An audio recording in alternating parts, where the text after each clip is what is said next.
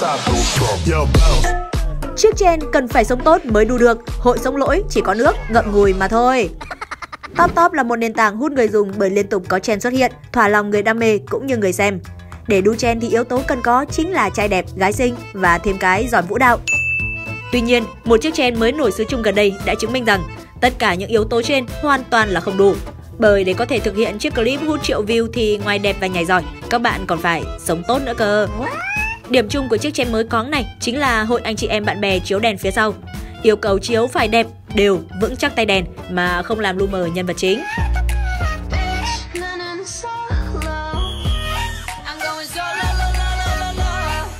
Ở những clip sáng tạo hơn, sự đoàn kết còn thể hiện ở việc cùng nhau dùng đèn để tạo hiệu ứng giật giật.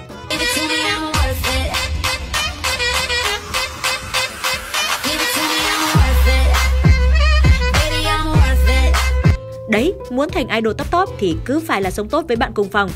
Sau đó còn phải học thuộc 5 điều bác Hồ dạy rằng đoàn kết tốt, kỷ luật tốt.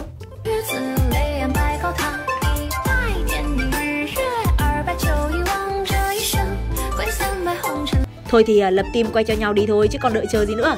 Các bạn đã kịp đu chen này chưa? Comment chia sẻ ngay với 8TV cũng như tiếp tục like, share và subscribe để cùng chúng tôi cập nhật những tin tức thú vị mỗi ngày bạn nhé.